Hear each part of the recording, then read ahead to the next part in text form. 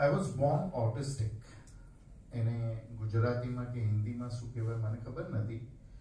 પણ બોલતા બોલતા મોઢામાંથી લાળ પડતી હોય, સમજાય નહીં, વચાય નહીં. જેને મંદ બુદ્ધિ કદાચ કહેતા હોય.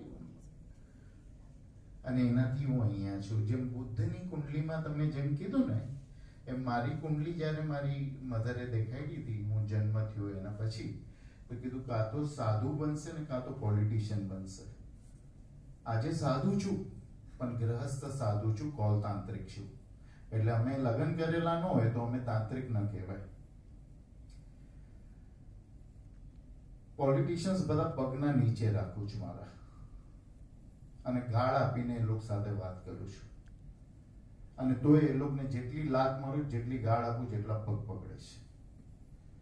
આ ગુરુ કૃપા છે. આજી કુમાર સાહેબે કીધું. તો આજે પોલિટિશિયન્સ પણ ખિસ્સામાં રાખું છું અને સાધુ પણ છું. એવું ભેરું થયું છે અને એ ગુરુ કૃપાથી થયું છે.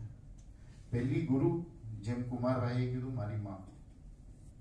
અલ ભાગવત કરીને એક મરાઠી માણસ હતા, અન્ના સાહેબ ભાગવત, અમદાવાદના. એમને પોતાના જીવનકાળમાં ત્રણ ચોપડીઓ લખી. એ ચોપડીઓ લઈ આવીને મારી મમ્મીએ મને ધ્યાન શીખવડાવ્યું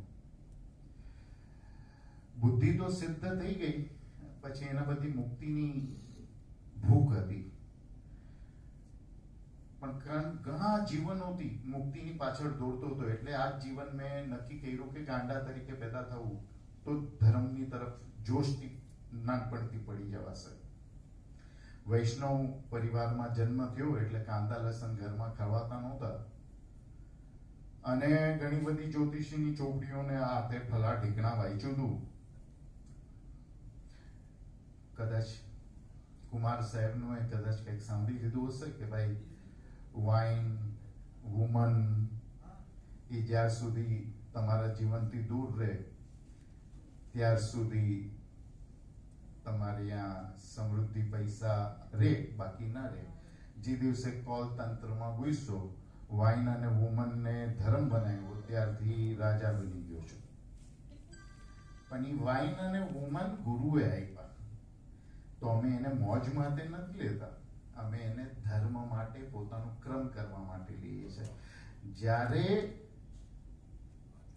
ગુરુએ હાથમાં આપ્યું આ વસ્તુ ત્યારે અમારા ગુરુએ કીધું તું ઈ હિન્દીમાં એના જ શબ્દમાં કહું છું ગુરુના જ શબ્દમાં ये खाने के लिए नहीं है ये पीने के लिए नहीं है ये जीने के लिए नहीं है ये मरने के लिए नहीं है ये क्रम करने के लिए और क्रम के बाद इसको छूना भी मत તો ગુરુ તમને ઝેર પણ આપે ને, તો એ અમૃત થશે જ. Hundred percent. સો ટકા અમૃત થશે. અને એ ઝેરનું જે અમૃત થશે ને, એનાથી મોટું અમૃત થશે ને કારણ કે દુનિયાની બધી જ દવાઓ ઝેર છે.